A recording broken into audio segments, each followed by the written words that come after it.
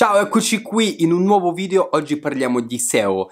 Oggi ti lascerò 7 consigli pratici che potrai subito applicare eh, sul tuo sito web WordPress per migliorare la tua SEO. Eh, innanzitutto di cosa parliamo? Che cos'è la SEO? La SEO sta per Search Engine Optimization, quindi è l'ottimizzazione per i motori di ricerca.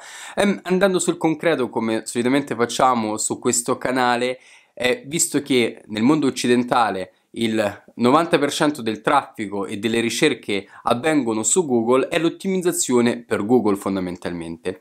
Ora, molto spesso quando prendo eh, dei siti web di alcuni eh, miei clienti, eh, sia che l'abbiano fatto da soli, sia che l'abbiano fatto con un'agenzia, molto spesso non c'è una strategia SEO di base e quindi sto parlando di magari anche di SEO semantica eh, fatta direttamente sul sito. Hm? Non sto parlando magari di SEO tecnica o di strategie di SEO, eh, diciamo, off-site. Poi andremo un pochino più in dettaglio su queste tematiche, però mancano le basi. Ecco, già eh, applicando eh, le strategie di questo video potrai avere i primi frutti e chiaramente i frutti come per tutta la SEO li vedrai nel lungo periodo. Però è pur vero che i frutti della SEO sono anche i frutti più duraturi e infatti dico sempre che la SEO in realtà è un investimento di lungo periodo perché sì, all'inizio fai fatica, ottimizzi, no? Sembra che stai facendo un lavoro per niente perché all'inizio chiaramente i risultati um, non sono immediati, no? non c'è quella reward immediato che magari vedi, non so, sul post di eh, social di turno, no? dove tu vedi subito, non so, 1000 views, 10 eh, like, no? è una roba di lungo periodo, però che sicuramente eh, rappresenta molto di più um, un fondamento del tuo business. Se è la prima volta che sei su questo canale, io sono Igor Papo, sono un marketer, lavoro con aziende, liberi professionisti per aiutarli a crescere grazie al digitale, per aiutarli a sfruttare il digitale dal punto di vista pratico, concreto, per vedere, diciamo, risultati tangibili. Um, su questo canale cosa trovi? Trovi Uh, strategie, consigli, tutorial utili per te, imprenditore o libero professionista, per mettere in campo tu le azioni e le strategie di cui parlo, oppure per delegare meglio, no? Quindi per parlare meglio con l'agenzia di turno, per parlare con loro la stessa lingua e per soprattutto capire che cosa vuoi tu, quali sono i tuoi obiettivi e se l'agenzia o il professionista sta facendo un buon lavoro. Ecco, bando alle chiacchiere, andiamo sull'argomento del video. Allora, SEO, SEO in realtà è un argomento molto spesso ostico. Perché? Perché può essere estremamente complicata, può essere estremamente complessa um, e quindi molto spesso spaventa un pochino, no? Quindi è difficile che un professionista vada in profondità, a meno che non sia un professionista chiaramente specializzato in quello.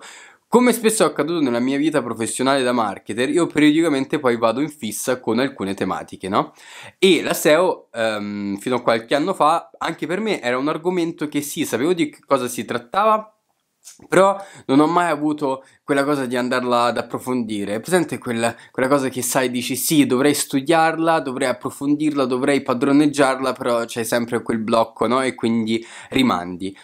In un certo momento della mia vita invece l'ho affrontato e chiaramente come spesso mi accade perché eh, ho questo tipo di approccio quando vado in fissa poi con una materia praticamente mi studio di tutto e di più acquisto 10 corsi 20 libri per avere un quadro completo. E quindi magari non so ho 6 mesi dove mi chiudo soltanto con un argomento.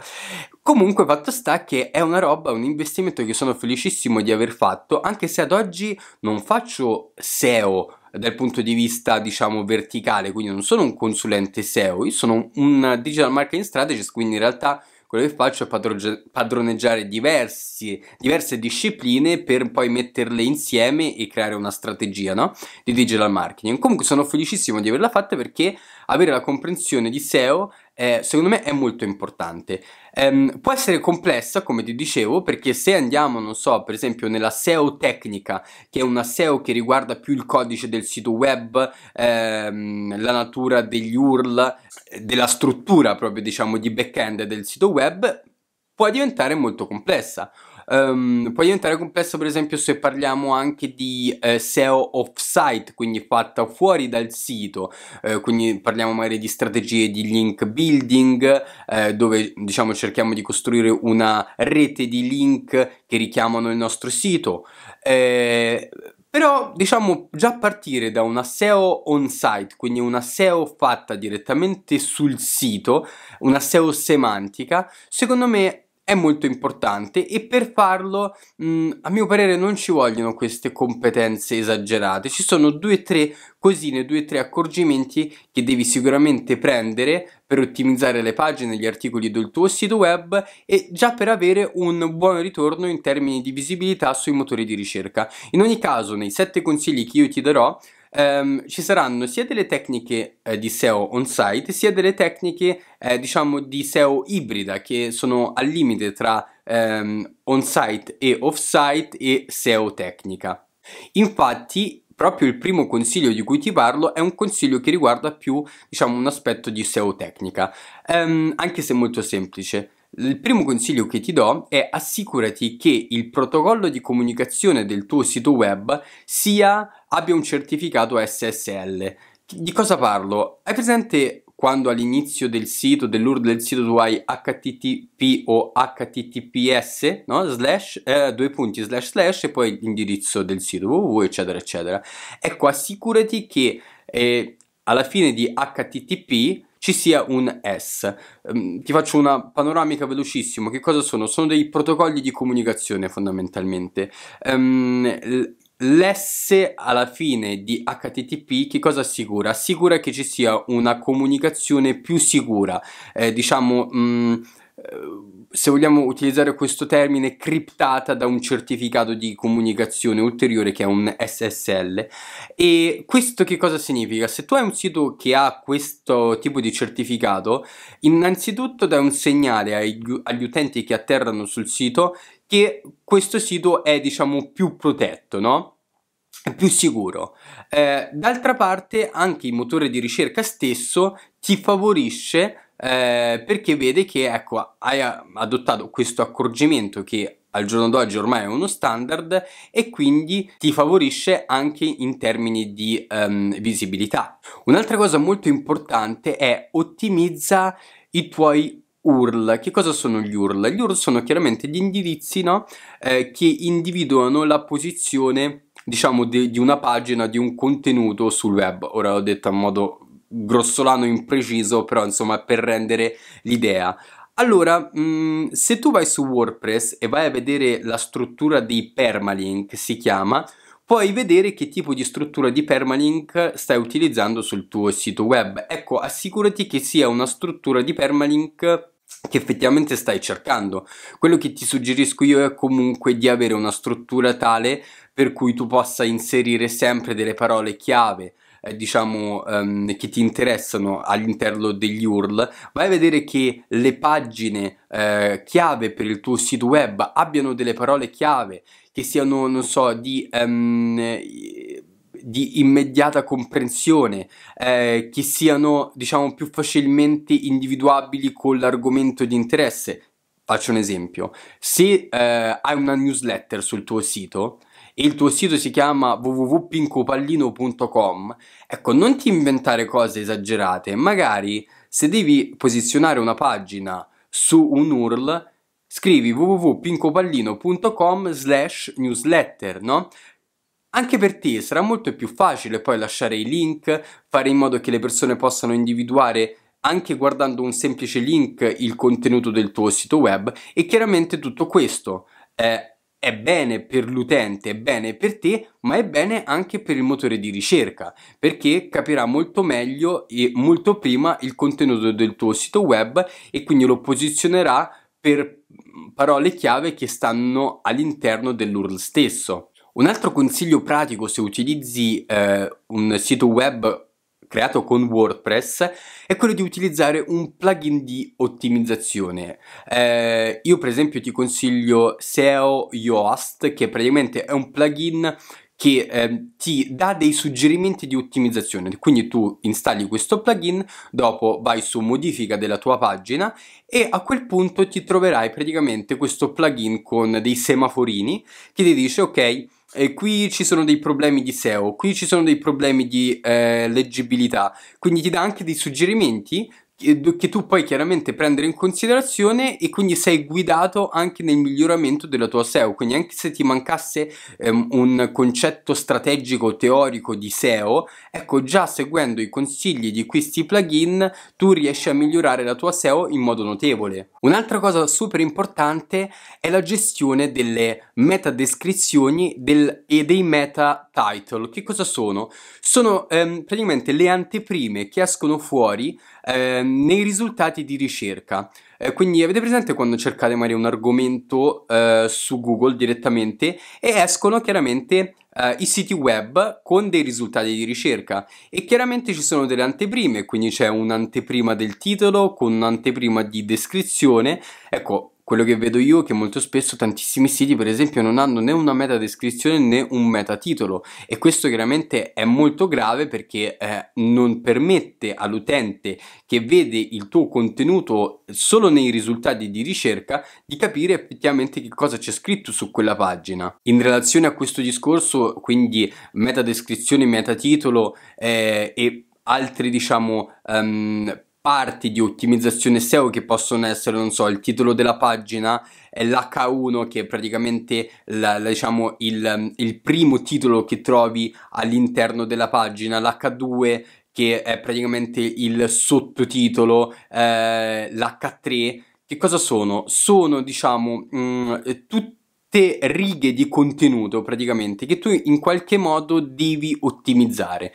Quello che ti consiglio io, per esempio, è banalmente individuare la parola chiave che per te è importante per quella pagina e per quell'articolo, inserirla sia nel metatitolo sia nella meta descrizione sia nel titolo della pagina sia eh, chiaramente nel, nell'H1 e nell'H2 ok? Perché in questo modo riesci a dare dei segnali evidenti a Google che su quella pagina quell'argomento viene trattato in modo diciamo in modo approfondito in modo preciso e poi chiaramente devi riportare, devi fare un contenuto vero e proprio, quindi un paragrafo che riporta più volte quelle parole chiave e che sicuramente abbia dell'utilità. Quindi non facciamo quegli articoli che eh, inseriscono 20 volte la parola chiave, non, non, so, pasta fresca faccio per dire, ma poi in realtà parla di tutt'altro, perché ormai Google è in grado di capire e quindi ti penalizzerà non favorirà il tuo articolo, la tua pagina nei risultati di ricerca. Ecco, mi aggancio a questo discorso eh, per darti un altro consiglio pratico. Concentrati sul contenuto, crea un buon contenuto, un contenuto che effettivamente risponda a una domanda, che risolva un problema, che porti un'informazione utile. Quindi assicurati di avere la padronanza e la comprensione di un argomento. Quindi nel momento in cui tu scrivi, non so, la guida per... Um, aggiustare le tubature oppure per spurgare i lavandini. Tra l'altro in questi giorni cioè, sto pieno con questi lavandini da spurgare a casa, quindi ormai mi sono fatto una certa cultura. Quindi se tu fai questa guida non puoi scrivermi due frasi in croce, quindi cerca di fare una guida che sia veramente, veramente una guida che guidi appunto l'utente eh, affinché questo possa risolvere il suo problema, no? Quindi il problema per cui lui eh, si è messo lì su Google a cercare, diciamo, quell'argomento lì. Un'altra cosa importante è l'ottimizzazione del sito sia in termini di velocità e quindi cerchiamo di non creare contenuti super pesanti con immagini super pesanti con video caricati direttamente sul sito di centinaia di megabyte ma cerchiamo di rimanere snelli. Ci sono tantissimi plugin che ottimizzano le immagini per esempio e che ti aiutano anche diciamo nel, nel caricamento di queste risorse. Molto spesso ecco qualche cliente mi ha detto ecco queste sono le immagini eh, le immagini in altissima qualità, voglio queste perché sono immagini belle. Sì, è vero, però se tu carichi su un sito un'immagine di 20 megabyte e questa ci metterà, non so, mediamente 20 secondi a caricarsi, capisce bene che al di là della SEO anche come esperienza l'utente è una cosa pessima. Sempre per quanto riguarda l'ottimizzazione c'è il tema di eh, mobile ormai la maggior parte dei siti, soprattutto se poi facciamo per esempio attività di um, acquisizione traffico dei social media, viene visitata proprio dal telefono, quindi eh, fai l'ottimizzazione e la costruzione della tua pagina per il desktop, però poi vai a vedere nella versione mobile com'è il, il sito e quindi addirittura nel momento in cui crei una pagina dovresti creare due versioni, una versione che è ottimizzata per il desktop l'altra per il mobile e poi se vogliamo anche per il tablet. Un altro consiglio che ti do è link building ma sano. Perché sano? Perché in passato ci sono state delle strategie cosiddette black hat, cappello nero, dove si creavano questi mega network che si scambiavano tra di loro i link proprio per diciamo eh, condividere il traffico e per dare un segnale a Google che quel sito potesse essere autorevole. Dopo, tramite diversi aggiornamenti che Google ha fatto, sto parlando di Google che, perché chiaramente come detto all'inizio di questo video il 90% di ricerche ad oggi qui in Italia ma comunque in generale in Occidente vengono fatte attraverso Google e mh, ecco Google poi ha fatto degli, degli aggiornamenti per cui queste tattiche vengono subito sgamate quindi non ci provare nemmeno perché poi verrai penalizzato quindi link building uh, link building sano e in cosa consiste? Consiste per esempio nella, con, eh, nel, nello scambio di contenuti, per esempio, dove tu dici, ok, vai dal blogger e dici, senti, posso scrivere un contenuto, così tu hai un contenuto per il tuo sito web e posso inserire anche un link, un richiamo, un approfondimento al mio, oppure puoi ospitare magari il contenuto di un'altra persona. Ecco, se tu riesci a costruirti una rete di relazioni, una rete di colleghi professionisti e magari dove vi scambiate dei contenuti, dove vi postate ehm, i link a vicenda, eh, chiaramente con degli approfondimenti sensati, no? con dei richiami sensati, non fatti così a caso, ecco questo sicuramente verrà visto di buon occhio, dal, dal primo punto di vista proprio da Google, dal secondo punto di vista riuscirai magari ad avere il pubblico di un'altra persona che è, molto in target con il tuo, perché se tu non so vai a rivolgerti a un collega, ma non so, ma se io andassi da un professionista SEO, magari proprio dicendo guarda, ti scrivo un contenuto e poi mando un richiamo a un video che sta e che ho stato sul mio sito, che magari è questo video qui, ecco, questo sarà sicuramente un contenuto utile per i suoi eh, diciamo potenzi eh, potenziali clienti, per i suoi utenti, per i suoi lettori, ma allo stesso tempo io riuscirò in qualche modo a farmi conoscere da persone in target, perché probabilmente le persone che leggono i suoi contenuti saranno molto vicine anche alle persone che fruiscono dei miei. Ok, quindi è un meccanismo win-win. Poi chiaramente come ti dicevo all'inizio di questo video c'è tutto il discorso della SEO tecnica che riguarda più il codice e la struttura del sito web. In parte qualcosa abbiamo accennato, no? Perché non so, quando parliamo di ottimizzazione della, velo della velocità del sito in parte c'entra la SEO tecnica, no? Eh, quando parliamo, non so, di HTTP, quindi di protocolli di comunicazione c'entra la SEO tecnica, però non sono entrato in dettaglio di altri aspetti molto più complessi. Comunque se vuoi approfondire eh, in giro ci sono diversi diversi blog, anche diversi contenuti video che parlano proprio di SEO tecnica e di cosa si tratta. Comunque, se già metterai in pratica questi consigli che ti ho lasciato qui, ecco, otterrai quel famoso 20-80, quindi no, quelle azioni fondamentali che portano la maggior parte del risultato. Poi se vorrai approfondire, vorrai migliorare ulteriormente, ci sono migliaia di aspetti che potresti ottimizzare dal punto di vista SEO, però ti ripeto, l'obiettivo di questo video era darti in mano alcuni consigli pratici. Bene, se questo video ti è piaciuto condividilo magari con qualcuno a cui può essere utile e io ti invito anche a iscriverti al canale. Se vuoi seguirmi, se non ti ho annoiato, se hai trovato qualcosa di utile, altrimenti guarda puoi anche non seguirmi e pazienza, magari il prossimo video sarà molto più divertente e mi metterò, non so, magari a ballare, fare un balletto di TikTok, ah, chissà, e noi ci vediamo al prossimo video, dai tutta!